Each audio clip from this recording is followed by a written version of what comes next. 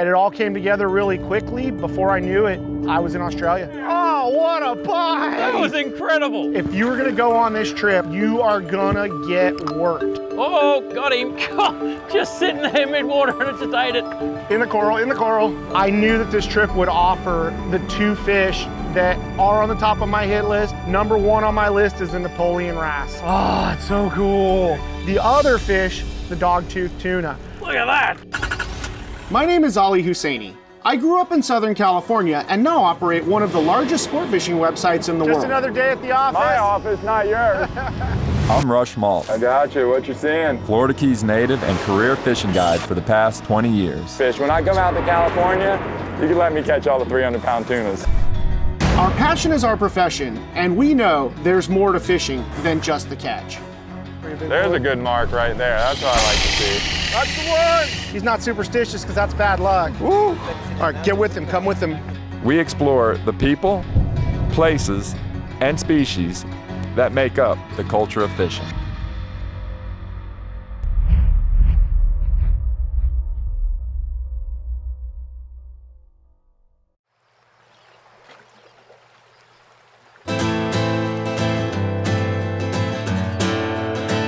Basically, two different people who are buying boats.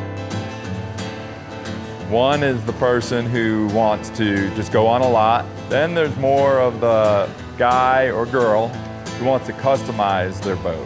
We're in the process of building a boat for the West Coast.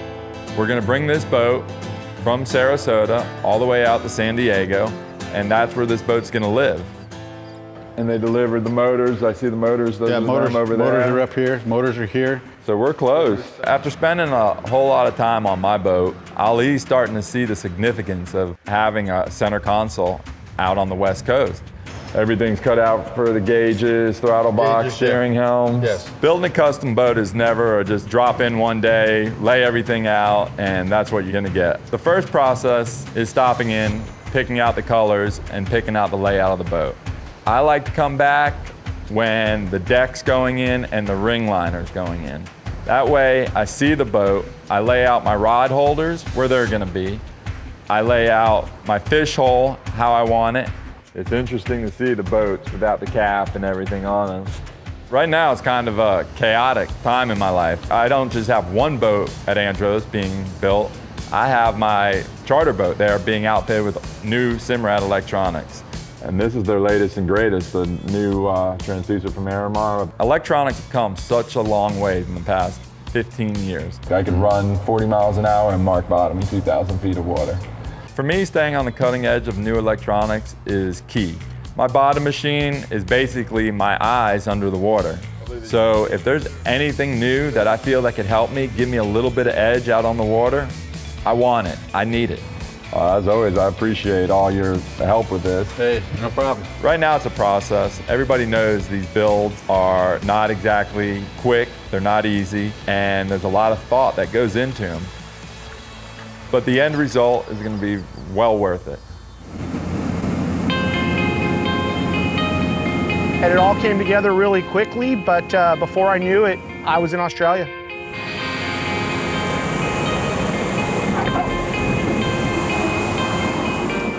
I originally found out about the Nomad operation, gosh, it's gotta be close to almost 15 years ago. Their business really is figuring out the logistics to get people to the most remote areas of the Great Barrier Reef and giving them the opportunity to fish for some of these fish that have never seen an angler and have never seen a lure. We basically looked at where can we take people where it's sheltered, we've got reasonable protection from the weather, but they can still do this sort of GT fishing and jiggings. And these outer coral sea reefs were an area where nobody was fishing. It was obviously going to have amazing fishing just from looking at the charts. I knew that was a trip that I had to do. Unfortunately for Rushy, he's stuck back in the Keys, cleaning up from the hurricane, trying to get back to normal, and keep an eye on the new boat we have being built at Andros. And there was no way I was gonna miss the opportunity.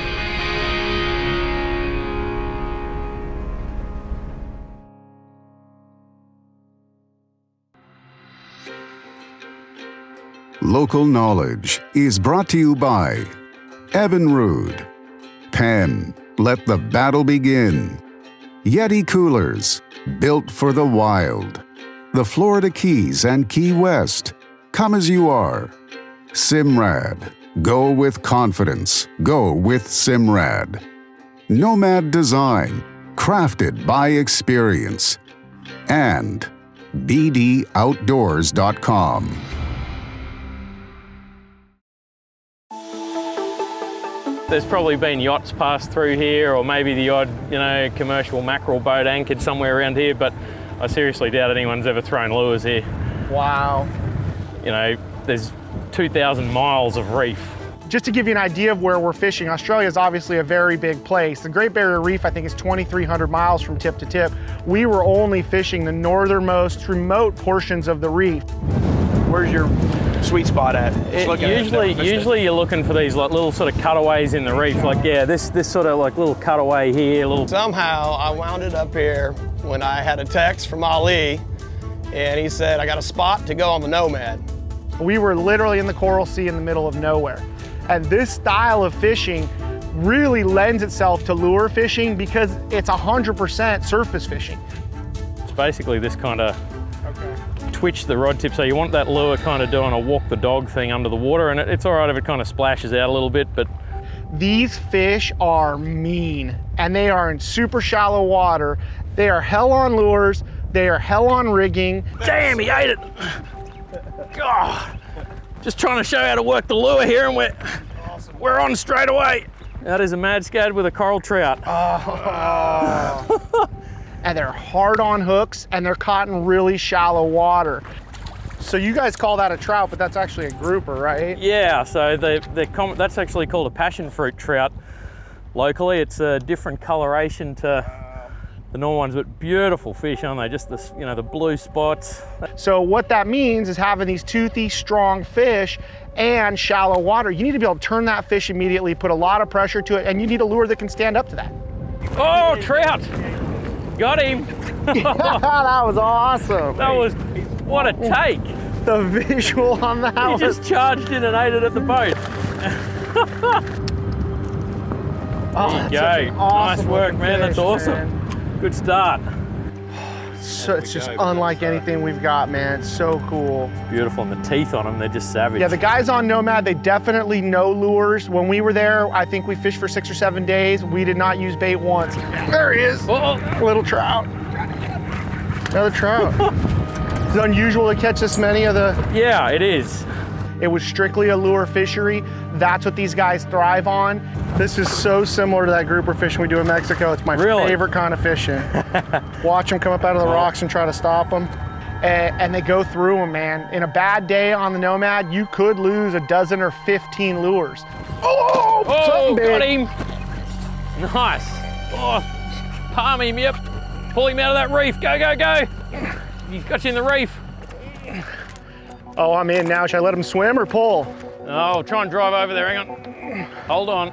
Freeze pull him or? Uh, yeah, try and try and pull him out. You can give him a little bit of give him a little bit of slack line, but usually once they're in there, it's game over. Over. to be honest. No, there you go. Give it, get into him. Oh, he's cut you off in the reef. You need a quality lure that can handle that kind of punishment. I don't know what it was, big and dark. Yeah, it was a wrasse. Oh, was a Yeah, wrasse? that was a It wasn't huge, it was like No, that. Big enough to do the damage. I can tell you what it was. It was $20. Did I mention Damon's in the lure business? Probably started with my father. There's photos of me kind of aged like two strapped to his back fishing in the surf on Stradbroke Island. So I was kind of uh, doomed from an early age. I think I've got a coral trout here. Not, yeah, they will. They will eat these big poppers. Those coral trout. Really liking that uh, surface splash there. Kind of developed a love for fishing, and I guess it never went away. Went to college, did an engineering degree, worked in that for a little bit, and then really just decided I needed to uh, needed to go fishing, and that's kind of where the uh, the charter operation started from, I guess, in a nutshell. Ooh, bigger trout. There we go. Big old trout. Oh, darker color. Look at that guy. Oh, nice trout. Oh, look at that. The charter operation started from a obviously a desire to want to kind of take people fishing, and we, we started with a lot smaller boats and in different areas, and ended up uh, building this uh, big mothership and kind of doing these trips out to the middle of middle of the Coral Sea and the Great Barrier Reef. Oh, you got him! You got him! I think that might be it. Is that a trout or a GT? Well, when we first started doing charters, we got into the, the lure and tackle side of things because there wasn't really any tackle in Australia to do this kind of GT fishing and jigging. Got that little trout. A little trout. Nice. Another one. Wow. Keep it No out of your shortage of these guys. Getting excited there. Ever since I was a kid, I've just really loved making lures, thinking about things, and I guess with a bit of a sort of engineering background, kind of got into it many, many years ago. We really started looking at this probably in 2010. How do we make lures that are just super, super tough and can stand up to the fishing out here? That was really what drove us to, to get involved in this because a lot of the tackle that we were using just couldn't stand up to the type of fish that are out here. They're just super tough, big fish. Whoa, there we go. There you go. Stuff breaks all the time. You've got charter customers that are like, oh man, all this stuff's breaking. What, what are we gonna use? So that really inspired us to start looking at making our own range of tackle. Oh, there he is. Wow. Oh. It does look just like a kingfish. Yeah, Listen to him crunching that lure. he's just crunch, crunch. He is pissed.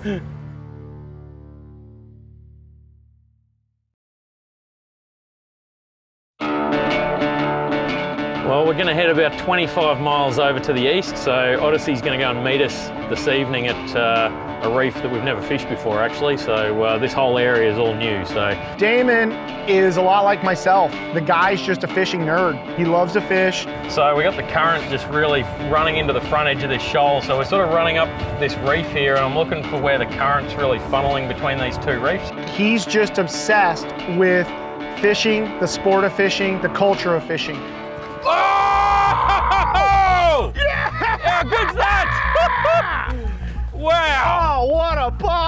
Was incredible! That was amazing! That was He's like come up. Oh, there's a shark on him, oh dear. Oh, another oh, one! Oh, look at the shark on him! Look at the shark! Oh, no! Oh, no!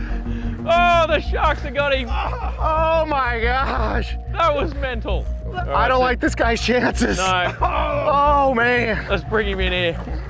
Oh, man.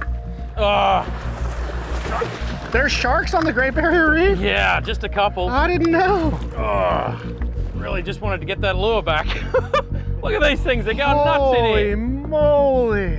If you were gonna go on this trip, like if a buddy came up to me and asked me for advice, the first thing I'd say is get in shape. You are gonna get worked.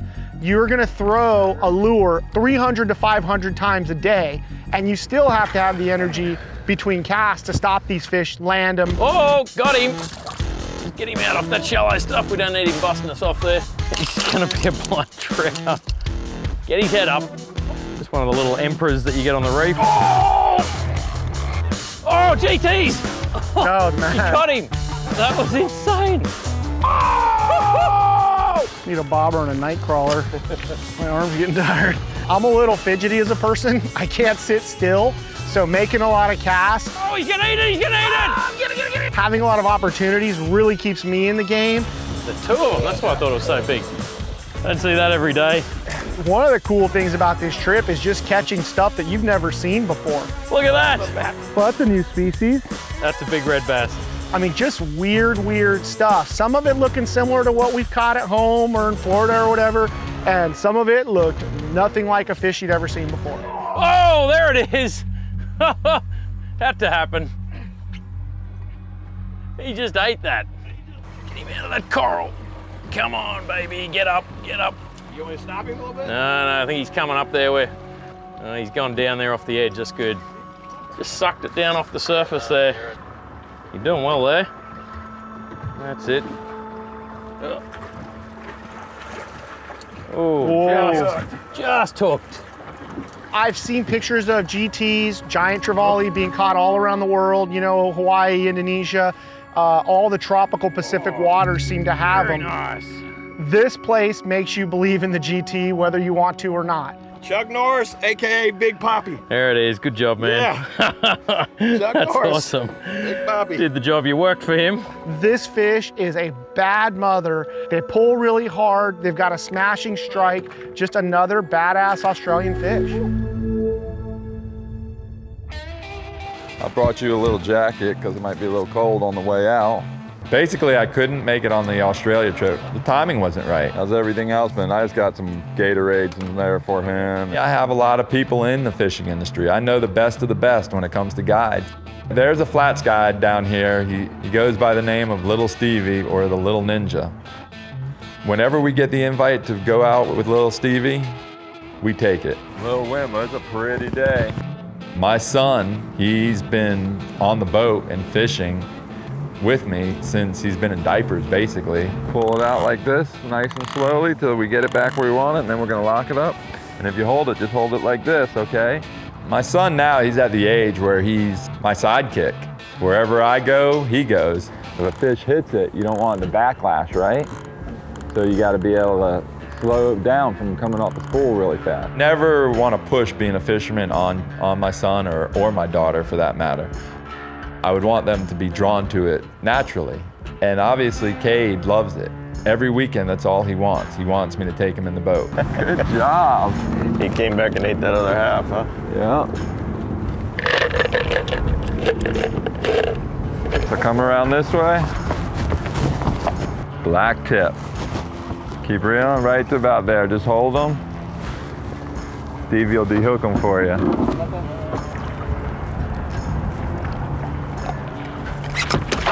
Goodbye. Whether catching a, a slam on the boat or catching nothing, just spending the day on the water with my son is a great day.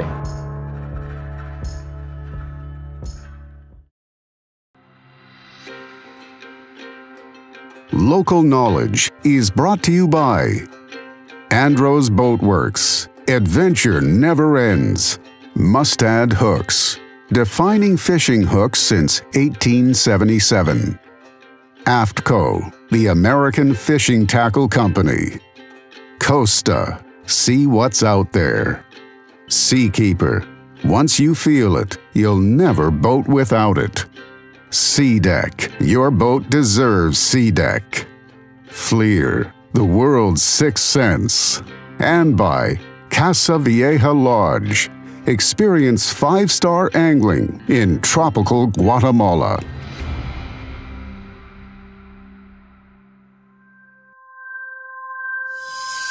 I knew that this trip would offer the two fish that are on the top of my hit list.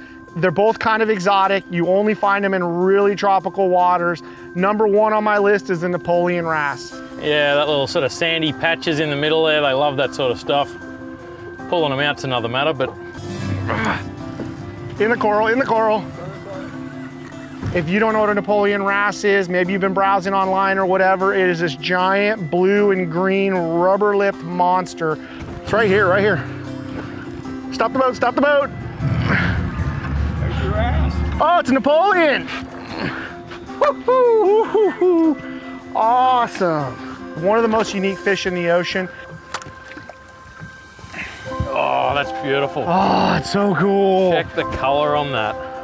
Well done, man. There's your first one. Wow, that's a good one to start with. That's a nice one to start with. You did well to get him out of the coral there. Just the color on those things is just spectacular. There's not much else that looks that good as it. And they come in like 10 different color phases. Yeah. huh? Yeah, they're really cool fish. Go ahead and let this guy go. Send him home. Oh, see you later, dude. Thanks for the fight. He's off.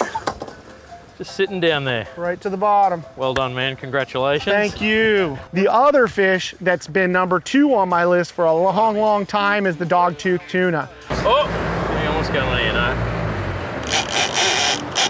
Oh no, that could still be. The right guy. I've never seen one, never had the opportunity to catch one.